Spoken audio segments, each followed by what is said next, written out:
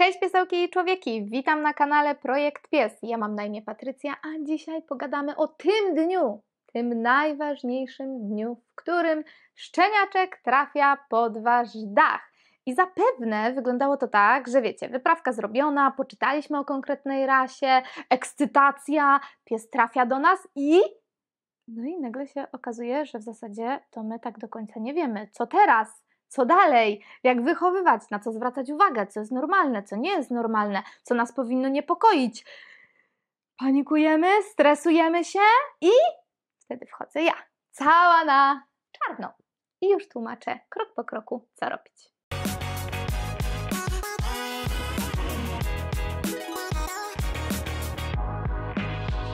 No więc krok numer jeden. Nie panikuj. Ja wiem, ja pamiętam, ja zdaję sobie z tego sprawę, że zwłaszcza jeżeli to jest nasz pierwszy psiak i tylko my jesteśmy za niego odpowiedzialni, albo pierwszy raz w życiu cała rodzina jest odpowiedzialna za to małe, urocze żyjątko, no to się stresujemy. Chcemy dla niego jak najlepiej. Chcemy, żeby był zdrowy, szczęśliwy, grzeczny, mógł nam wszędzie towarzyszyć, nie zrobił sobie krzywdy, no ale nie mamy odpowiedniej wiedzy, więc zaczynamy się troszeczkę stresować, panikować, no bo tak na dobrą sprawę do końca nie wiemy, co za chwilę nas czeka i jak powinniśmy postępować, ale spokojnie. Ratunkiem jest wiedza.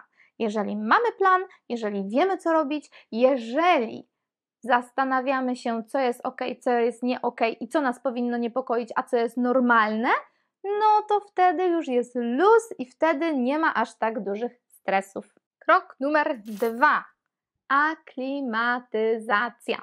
Trzeba dać szczeniaczkowi 2-3 dni na to, żeby się oswoić z nowym miejscem, bo umówmy się, to jest maleństwo, które się Was nie spodziewało, które zostało zabrane od mamy, od rodzeństwa, z jego domu i jedynego świata, które znał. A zaprowadziliśmy go do świata, który jest dla niego obcy, do nowego domu, nowego miejsca, nowych zapachów, nowych człowieków i on ma prawo być przerażony, ma prawo tęsknić, ma prawo płakać w nocy, piszczeć, skomleć i tak dalej. Dajcie mu czas. Nie nagabujcie do zabawy, nie bierzcie od razu na rączki, na kolana, głaskanie i tak dalej, milion zabawek. Niech sobie posiedzi na ziemi, sam we własnym tempie pozwiedza i troszeczkę ocząśnie się z tej zmiany, która na pewno była dla niego duża, poważna, i taka, której się po prostu nie spodziewał. Krok numer 3. Zabierzcie pieska do weterynarza. Nie za dwa tygodnie, jak ma termin szczepienia, tylko po tych dniach aklimatyzacji po prostu wejście go do weterynarza. Niezależnie od tego, czy jest piesek z najlepszej na świecie hodowli i dostajecie wszystkie badania i tak dalej. Niech weterynarz na niego spojrzy, niech się mu przyglądnie, niech mu zmierzy temperaturę, poproście, żeby po prostu zobaczył, czy jego zdaniem szczeniaczek jest zdrowy. Lepiej zapobiegać niż później leczyć. W dodatku, kolejnym plusem wizyty u weterynarza takiej, wiecie, trochę adaptacyjnej, zapoznawczej, jest właśnie to, że zabieramy tam szczeniaczka i jemu nic złego się tam nie stanie, bo to nie jest pierwsza wizyta na szczepienie, gdzie może go boleć, tylko to jest taka wizyta, że tam weterynarz sprawdzi, zobaczy go, nic się wielkiego nie wydarzy i on będzie miał takie neutralne skojarzenia albo nawet pozytywne, jak go tam jeszcze jakimś smaczkiem nakarmicie. No i druga ważna rzecz, od razu sprawdzicie weterynarza. Zobaczycie, czy jeżeli w przyszłości, za tydzień, dwa, miesiąc albo trzy miesiące coś by się złego wydarzyło, to czy ten weterynarz, z którym teraz mieliście do czynienia, w sytuacji no nie stresującej, no bo nic się nie dzieje, piesek potencjalnie jest zdrowy, Wam odpowiada. Czy udzielił Wam odpowiedzi na wszystkie Wasze pytania, nurtujące kwestie dotyczące na przykład żywienia, tego co jest dla psa ok, co jest nie ok, ustaliliśmy jakiś tam terminarz szczepień, pogadaliście może trochę o kwarantannie i o socjalizacji, zaraz o tym powiem. I czy Wam podejście tego weterynarza odpowiada? No bo jeśli nie, no to mamy spokojnie czas na to, żeby poszukać sobie takiego weterynarza, który nam po prostu pasuje. Czwarty kroczek, o którym przed chwilą wspomniałam, to ta sławetna socjalizacja i będę to powtarzać w kółko i wciąż, nawet jeżeli Was to bardzo, bardzo nudzi. Socjalizacja to najważniejsze, co powinniśmy zrobić dla naszego szczeniaka i nie restrykcyjnej kwarantannie. Ja stanowczo mówię nie. Ona przynosi więcej złego niż dobrego. Zresztą nagraliśmy już o tym film. Pod tytułem Socjalizacja a kwarantanna. Gdybyście subskrybowali nasz kanał, to byście o tym wiedzieli. Więc jeśli jeszcze nie subskrybujecie, to kliknijcie sobie tam suba jeżeli te rady wszystkie nasze są przydatne, no to dajcie nam też łapkę w górę. Dla nas to jest też fajna informacja zwrotna. Natomiast wracając do tematu socjalizacji, mamy na to bardzo mało czasu. W zasadzie okno socjalizacyjne to jest drugi, trzeci miesiąc. Tu nie ma na co czekać. Tu nie ma tak, że a zajmę się tym po szczepieniach, a zajmę się tym, jak się zrobi ciepło, bo aktualnie jest tam e, zima, albo dopiero się zaczyna wiosna i nie do końca jest fajna temperatura, albo zajmę się tym za miesiąc, bo wtedy zaplanowałam sobie urlop. Nie. Czas na socjalizację jest tu, teraz, jak najszybciej, żeby później nie było żadnych problemów z tym, że piesełek boi się wyjść na spacer. Wszystkiego wszystkiego, wszystko i wszystkich obszczekuje. E, nie umie chodzić na smyczy, nie umie przejść przez korytarz, pojechać windą, albo boi się jakichś dziwnych dźwięków typu karetka, wystrzały sylwestrowe, czy huki, które usłyszał gdzieś z daleka, bo tam na przykład, nie wiem, koszą trawę albo wycinają drzewa. Niech się nie stresuje. Piąty kroczek to nauczenie psa samotności i samodzielności. I teraz, jeśli wzięliście sobie urlop na czas, w którym szczeniak do Was trafia. I macie tego urlopu tydzień albo dwa, albo zawsze pracujecie w domu, bądź ktoś z rodziny zawsze jest w domu, to żaden z tych powodów, żaden z tych powodów nie jest wytłumaczeniem na to, żeby nie uczyć psa zostawania samemu i nie uczyć go zajmowania się samym sobą.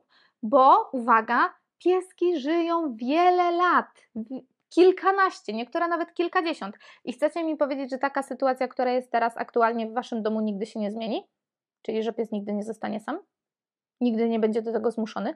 No, oczywiście, że nie, więc nie chcemy mu dokładać dodatkowych stresów. Od samego początku uczymy psa tego, że czasami na ciebie nie zwracam uwagi, albo nikt z rodziny na ciebie nie zwraca uwagi. Czasami zostajesz sam albo w całym mieszkaniu, albo po prostu w innym pomieszczeniu. I dla psa to jest wtedy taki standard zero, że aha, teraz się człowiek ze mną bawi super, aha, teraz człowiek mnie olewa, też nic się nie dzieje, aha, teraz zostałem sam, więc idę sobie uciąć drzemkę. Jak wróci człowiek, to poimprezujemy.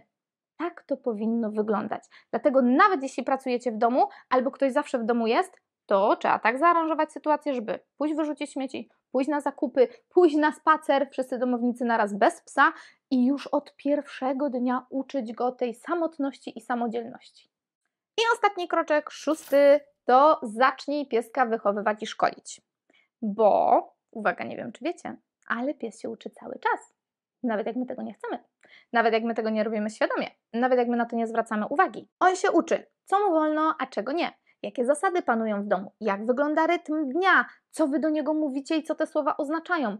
Więc nie ma co czekać. Warto już zacząć wychowywać psiaka, bo ze szczeniakiem jest dużo prościej. On nie ma wtedy złych nawyków, które my musimy odkręcać za kilka miesięcy. Tylko mamy taką troszkę białą kartkę i sobie na tej kartce bardzo ładnie zapisujemy to, co piesek powinien rozumieć i potrafić po to, żeby był zdrowy, szczęśliwy i kontrolowalny. I jak to robimy?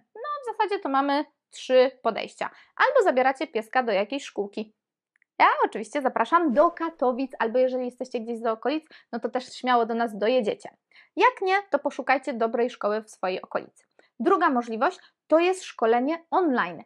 Tutaj też akurat możemy Wam pomóc, bo mamy genialny kurs wideo psiego przedszkola właśnie dla takich osób, do których trafił szczeniaczek, puchata kuleczka, którą trzeba wychować, zapewnić mu psie potrzeby, nauczyć pielęgnacji i po prostu życia.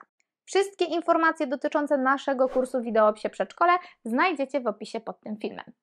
A trzeci sposób, no to jest wtedy, kiedy chcecie sami nauczyć psa. I też macie ku temu masę możliwości, bo wiedzy w tym momencie w internecie jest tyle. Choćby nasz kanał na YouTubie. Jakieś blogi osób, które faktycznie zajmują się psami i mają na ten temat wiedzę. Książki, które możecie przeczytać, seminaria, na które możecie pojechać, webinary, w których możecie wziąć udział. Oczywiście nie jest łatwo przebrnąć przez to wszystko, wyciągnąć najważniejsze dla siebie informacje i to wszystko poukładać. Natomiast dla osób, które są tym zajarane, które lubią dociekać, to macie taką możliwość, tylko nie odkładajcie tego na później, tylko wybierzcie sobie ten sposób, który jest dla Was najlepszy i po prostu z niego korzystajcie. Tak wygląda instrukcja sześciu kroków po kolei, które należy wykonać ze szczeniaczkiem, jeżeli trafił do naszego domu. Dzięki temu my się będziemy czuć tacy pewniejsi, będziemy mieć świadomość tego, że chcemy dołożyć wszelkich starań, żeby o piesełka zadbać i zrobić to mądrze, świadomie, z pewną dawką wiedzy. Piesełkowi odbije się to w taki sposób, że będzie dobrze wychowany, szczęśliwy, zdrowy i wdzięczny nam, no bo przecież kto jest dla niego najlepszy, jak nie wy? Wy, jego ulubione człowieki. I tego Wam właśnie życzę. Tyle ode mnie na dzisiaj. Pamiętajcie, widzimy się we wtorek o 17. Smell you later. A będziesz tak gulgotał teraz? Kul, kul, kul, kul, kul, kul, kul. Tu, tu, tu, tu. Ej, a możemy robić na przykład taką muzyczkę, taką tu, tu, tu, tu. Ty, że taka jest niecierpliwa? Po co? Żeby budować napięcie. Nie? A przed czym to napięcie?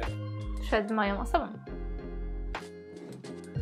Znaczy, że ja mam napięcie przed twoim Ty masz napięcie przed moją osobą.